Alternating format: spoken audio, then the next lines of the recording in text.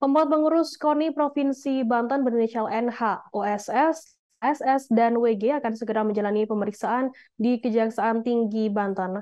Mereka diperiksa untuk mengklarifikasi dugaan tindak pidana korupsi dana hibah sebesar 20 miliar rupiah tahun anggaran 2022. Kabid Humas KONI Banten, Habib Saleh memastikan keempat pengurus KONI tersebut akan kooperatif dalam menjalani pemeriksaan ini. Informasi lebih lengkapnya akan disampaikan oleh rekan jurnalis kami dari Tribun Banten. Ada Angkos Kosasi yang akan melaporkannya. Silakan rekan Angkos. Baik, uh, terima kasih rekan Firda. Selamat sore Tribuners di mana pun Anda berada.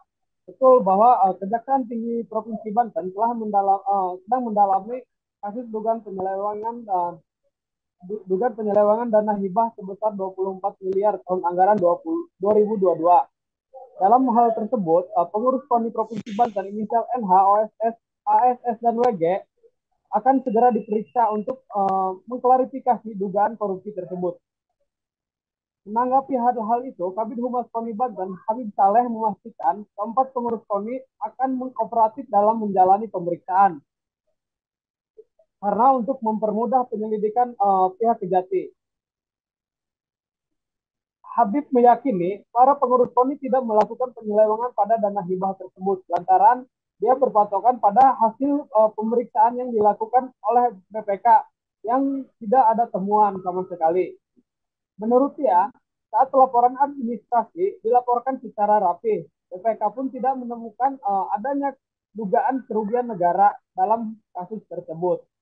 Selain uh, memeriksa selain itu, Kejati Banten juga telah memeriksa 13 orang atlet berikut penyedia barang dan jasa untuk mendalami kasus ini. Kemungkinan para pengurus KONI akan diperiksa pada minggu ini. Kasih Penkum Kejati Banten Rangga Ade Krishna menjelaskan pemeriksaan tersebut untuk melengkapi penyelidikan penyidik Kejati Banten.